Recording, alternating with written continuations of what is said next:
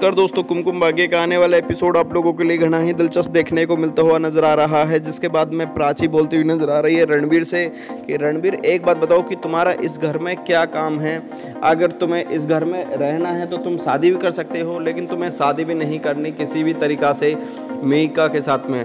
लेकिन तुम्हें इस घर में रहना भी ज़रूर है। आखिरकार तुम्हारी मनसा क्या है? क्योंकि दोस्तों, आप लोग जानते हैं कि रणबीर इस समय सिर्फ़ और सिर्फ़ प्राची के लिए ही इस घर में रह रहा है। लेकिन इधर मिहिका को ये बोल रहा है कि मिहिका मैं तुम्हारे लिए ही इस घर में आए आया हुआ हूँ। लेकिन दोस्तों, कहीं ना कहीं अक्षय की बात की जाए तो अब अक्षय भी पूरे गुस्से में नज़र आ रहा है। अक्षय बोलते बोलता हुआ नज़र आ रहा है कि जो हो रहा है, वो भी सही नहीं है। आप लोगों को बता देना चाहता हूँ, जल्दी ही आप लोगों के बीच में कहानी एक नहीं बल्कि इस समय कई ट्विस्ट लगातार आते हुए नज़र आ रहे हैं दोस्तों।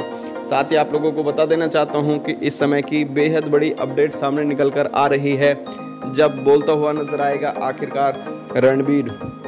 रणवीर बोलेगा, अक्षय से, कि अक्षय, जो तुमसे हो सकता है, तुम वो चीज़ करके देख लो, मैं यहाँ से जाने वाला नहीं हूँ। क्योंकि दोस्तों वो प्राची के लिए ही आया हुआ है और वो साफ़ साफ़ ये भी ज़ाहिर कर देगा कि उसका मकसद क्या है इस घर में आने का। दोस्तों, आप लोगों को बता देना चाहता हूँ कि जल्दी ही आप लोगों के बीच में एक नहीं बल्कि इस समय कई टूस्ट पे आते हुए नज़र आएँगे दोस्तों, जहाँ पर इस समय रणबीर की बात की जाए तो रणबीर एक ऐसा शख्स है जो हमेशा अपने हाईलाइट के लिए भी जाना जाता है। आप लोगों को बता देना चाहता हूँ कि जल्दी ही रणवीर बोलेगा कि अक्षय, तुम ये मत सोचना कि मैं अलग हूँ। मैं प्राची को हासिल करके ही रहूँगा, चाहे उसके लिए मुझे कुछ भी क्यों ना करना पड़े।